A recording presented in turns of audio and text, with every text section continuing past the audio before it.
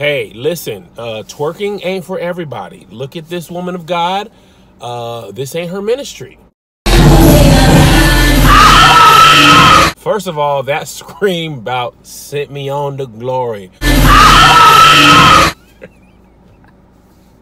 Whoever did that, oh, she needs some milk. Listen, the key to twerking, amen. I know a little something because the marriage bed is undefiled, huh?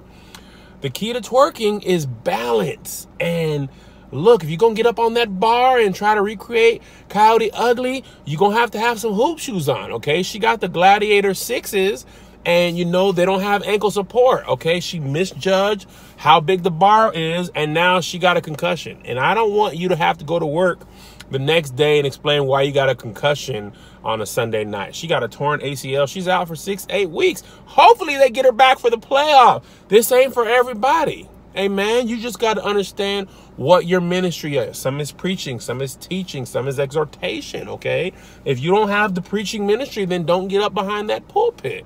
All right, she didn't have the balance. She started to shake and then it wobbly and something gave out. Okay, that ankle wasn't prepared. She usually does that on a flat surface. That's advanced twerking matrix. Okay, you can't get up there and do advanced twerking techniques with basic twerking ability, huh? You got to understand what your game plan is and what your ability is, what your skill set, what you bring to the table. Okay, twerking on top of a bar, that ain't it. And why your your homegirls didn't help you. They just looked down and watched you fall. They didn't reach out and touch somebody's hand. Make this world a better place if you can. They just watched you wobble, wobble, and shake it, shake it, wobble, wobble, and break it, break it.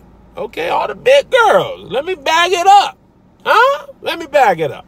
Uh, God bless you, though. And, and hopefully everything works out in the end. Amen and amen.